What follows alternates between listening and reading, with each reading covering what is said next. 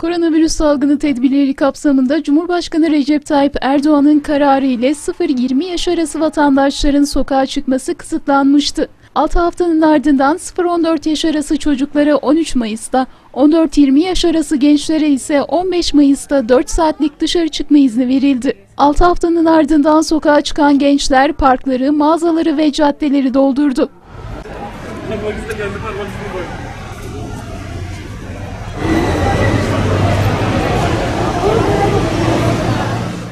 Caddelerde yürüyüş yapan, sokaklarda bisiklet süren ve parklarda ağaç altında gölgelenen gençlerin mutluluğu yüzlerine yansıdı. İnsan içine çıktık. Vallahi huzurluyuz. Bir dünden hazırlandık falan abla. Şekil giyindik. Vallahi çok güzel böyle bayramlık hava var. Bayağı güzel. Geziyoruz biz de böyle işte. Öyle yani. Mutluyuz.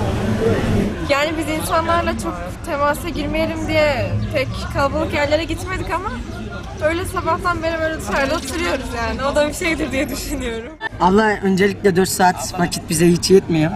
Yani çıktık. Sevgilimizle bile buluşamıyoruz. Paten sürüyoruz. Polisler rahat vermiyor istasyonu.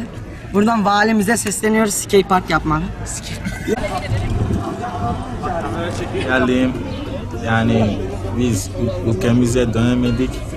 Şimdi bize burada yasak vardı ama şimdi bize 4 saat vermişler.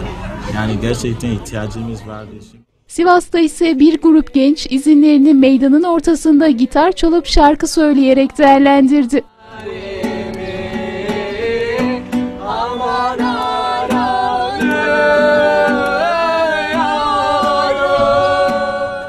Cumhuriyet Meydanı'nda bir banka oturan Duygu Kalebayır, Muhammed Kılıç, Tuna Öztürk, Kadir Arslaner, Yasin Çakmak ve Barış Koç isimli gençler sokakta şarkı söyleyerek çevredeki vatandaşlara da renkli anlar yaşattı. Ben o yarime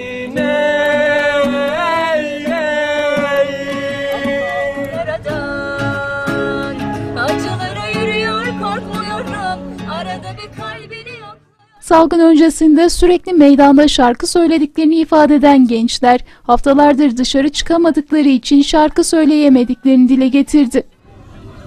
Biz e, okul zamanında meydana çıkıp şarkı söylüyorlar. Şimdi virüsten dolayı dışarı çıkamıyoruz. Bugün bugün 4 saatlik izinimiz var. O da hemen e, direkt meydana indik ve şarkı söylemeye başladık. Sivas şivesiyle açıklama yapan Duygu Kalebayır her zaman meydanda toplanıp şarkı söylediklerini belirtti. Biz e, oturup her zaman bile geceleri şarkı söylüyorduk ama bu korona geldi.